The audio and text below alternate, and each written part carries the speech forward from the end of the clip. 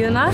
I work in digital advertising. I wear coat from COS, a uh, vintage purse. I can do it. A vintage purse. A shoes are from Aid, Aid, and pants are from Zara. And blazer uh, is from Benetton. All together, around uh, maybe 500 euros.